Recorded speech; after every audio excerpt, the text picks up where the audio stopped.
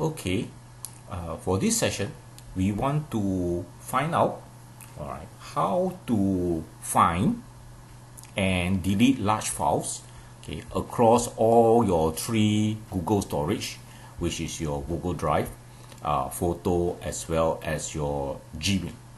Okay, because now Google actually lump all these three services under the same calculation of your storage in your Google Drive, in your Google uh, storage. So the first thing you will do is you need to log in to your Google account. Alright. And when you click your picture, okay, you should see a manage your Google account button. Alright, so this is where you will start. Okay. Once you click that particular button, you will be at the Google account, alright, the home section. Okay, that should be the default. And if you look down here, you should see a section that is for your account storage. Okay, and take note that your account storage is shared across your Google services. So your Google Drive, your Gmail, your photo, all uses the same account storage which is allocated uh, to you. Alright.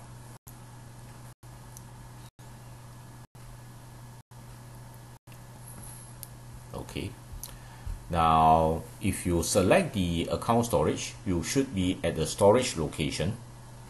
Okay. You will need to scroll down a little bit and look for free up account storage space. Okay.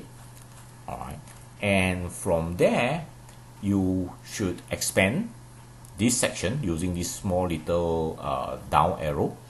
And you will see a button called free up account storage. All right so this is where you will actually access that feature okay to free up your account storage your Google account storage.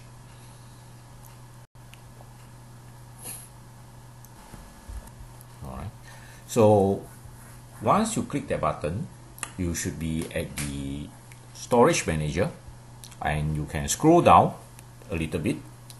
Okay. And you will see all the large item. Right, uh, arranged in your email, uh, your Google Drive, and at the lower section, okay, will be your photo.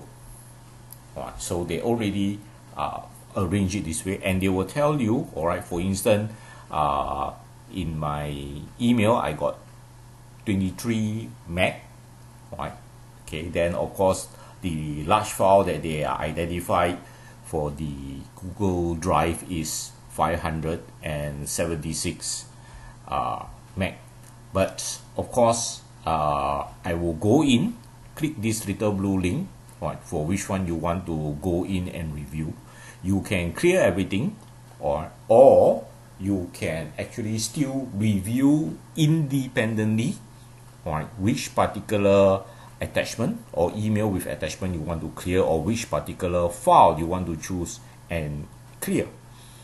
All right uh, actually this is a shortcut okay. Instead of going to the email to search manually then going to the drive and you know do the same process over and over again even in the photo. Alright. So this little feature over here allow you to have a look at all right from a single point.